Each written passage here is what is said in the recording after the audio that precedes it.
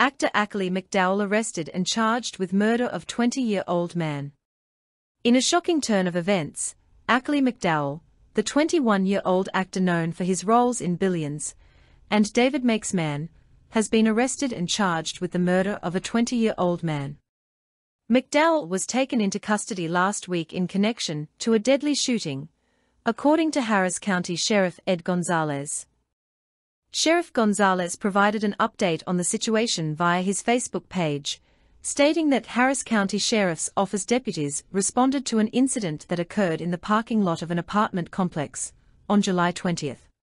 Upon arrival, deputies discovered Cesar Peralta, who had sustained multiple gunshot wounds.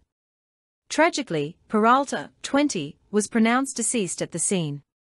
The emerging details of the case have left many in shock. McDowell, who was booked into the Harris County Jail in Houston, Texas, was also charged with theft. The bond for both alleged crimes has been set at $400,210, according to online jail records. While McDowell is scheduled to appear in court for the theft charges later this week, his court date for the murder charges is set for October. The circumstances leading to McDowell's arrest remain murky. The statement from Sheriff Gonzalez noted that the suspects fled the scene, and it is unclear how McDowell was connected to the incident or his relationship with Peralta. Representatives for McDowell have not yet responded to requests for comment. However, McDowell's manager, Jonell Whitt, issued a brief statement to Law and Crime, calling the murder charges an unfortunate situation. Whitt added, I am in prayer for Akili and those impacted by this tragedy. McDowell first rose to fame at the tender age of 15, when he landed the titular role in the critically acclaimed series David Makes Man. The coming-of-age story, which premiered on the Oprah Winfrey Network, OWN, centers around a 14-year-old boy living in the projects while attending a magnet school for academically gifted youngsters.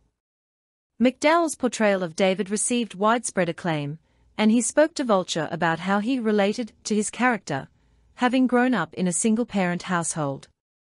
That's why it was so important to me that I get this audition because, honestly, with David being raised by a single mother, and him feeling like he had to be the man of the house at such an early age, and make all these grown folks' decisions and things like that.